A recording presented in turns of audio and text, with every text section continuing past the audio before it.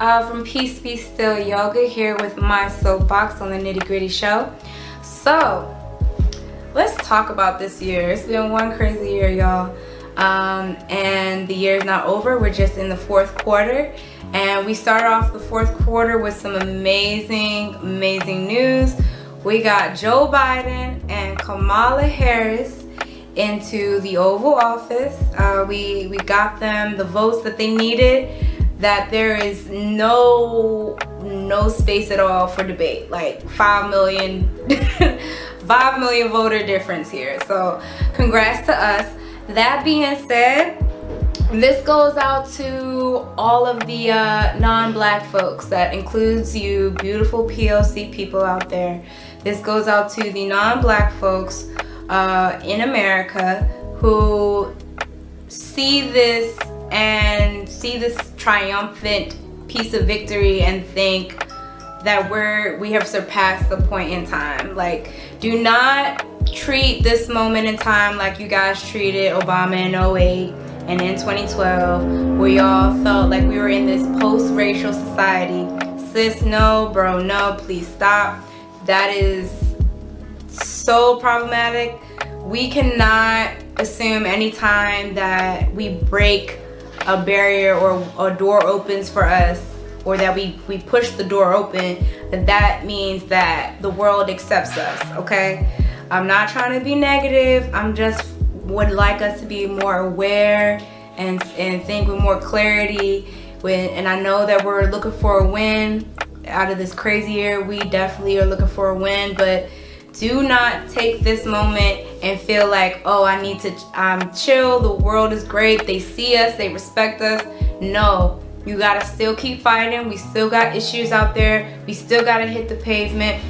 We still have laws that do not work in our favor, black people. We still have food deserts. We still have um, unequal access to uh, educational resources and support. We still have you know, lack of generational uh, inheritance. We still have lack of just lack. we are a disenfranchised, disinherited group, unfortunately, in these United States.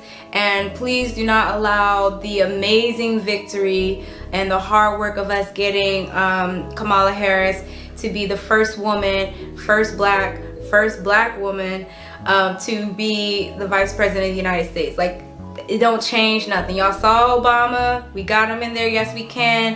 And then what happened? Everyone started thinking post-racial. I even had in high school, my senior year, when Obama won, I had a teacher come up to me in the bathroom to tell me, we had a black awareness club at the time. I was in an all-white prep school. And she came up to me and said, don't you think it's about time we give up on black awareness and, and, and, and, trying to educate on black history now that we have a black president? The world is past that. Why don't we make it a world culture awareness club? That is legit what a grown woman said to me, a black child, a black teenage girl after President Obama won. He ain't even get in the office yet. He was president-elect and that happened. And then what happened during his tenure? We saw all these shootings. We saw a spike in, um, in hate crimes and all of that. All because we were too distracted with thinking that we were past this. No, we are not past it. Black people, keep your head on the swivel. White people and non-black people, POC, advocates, and allies. I need y'all to still keep your foot on everybody's necks and still keep that pressure because this doesn't change anything, all right? We still have millions and millions of people.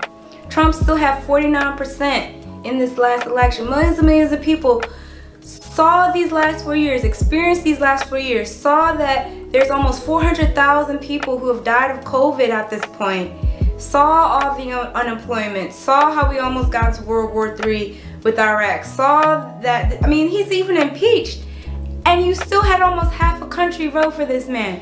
What does that tell you? That means keep your head on a swivel, keep your heart, you know, on the prize, keep your head and hearts glued on Jesus and, you know, just just try to make the world better, man. Do not rest up because we still have so much work to do to make the world even better for our children and our children's children because the work ain't done, y'all.